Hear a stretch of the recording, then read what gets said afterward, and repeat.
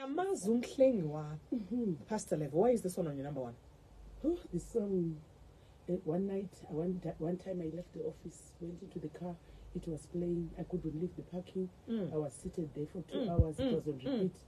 till my battery went flat it was now like half past eleven and you needed a jump i needed a jump and my phone battery was hey.